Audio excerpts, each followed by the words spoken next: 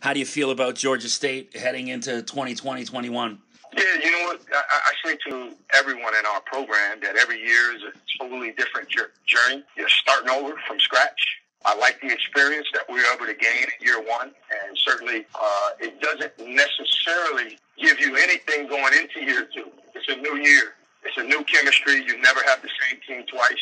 But I think the first and foremost is the, the chemistry that we've developed as a coaching staff because it was our first year working together. So the way we put our heads together now is a little bit different than the way we convened at this time last year because we were all coming together and connecting for the first time. And we didn't have the benefit of the experience that we just gained this past year. So uh, I do think we go in with a little bit more uh, focus on what it is we need to do to be the team we want to be, a better sense for who our personnel is, the makeup of our group. So there are some advantages to those things, but uh, it doesn't guarantee us anything.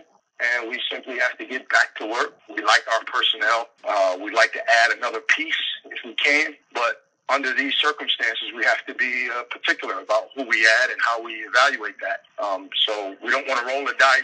We want to be as informed as possible, and that's a challenge. But we, we are optimistic, to say the least. I wanted to ask you, you know, past year, first year as a head coach in about 15 years, you know, an assistant, Virginia, Texas, Florida. One thing uh, you had to change about yourself over the past year in order to make that adjustment from an assistant to a head coach? I think it was more about the opportunity. You know, certainly when you go from being someone who's making suggestions to making decisions, you know, you take on a different posture but I, I don't know if it's a matter of changing anything. It's more a matter of the opportunity and you stepping up to the plate. And uh, the leadership aspect of your personality has to go to another level because you're responsible uh, for an entire program and the people in it, at least from a professional standpoint. So you have to step into that role. And so it's, it's more about that than changing anything in particular about myself personally. It's about stepping into the role that is required of the leader of a program.